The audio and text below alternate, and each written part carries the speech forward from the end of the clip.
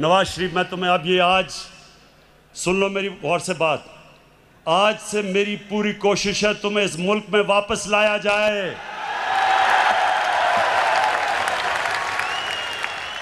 और तुम्हें यहाँ आम जेल के अंदर डालेंगे, वीआईपी जेल नहीं होगा।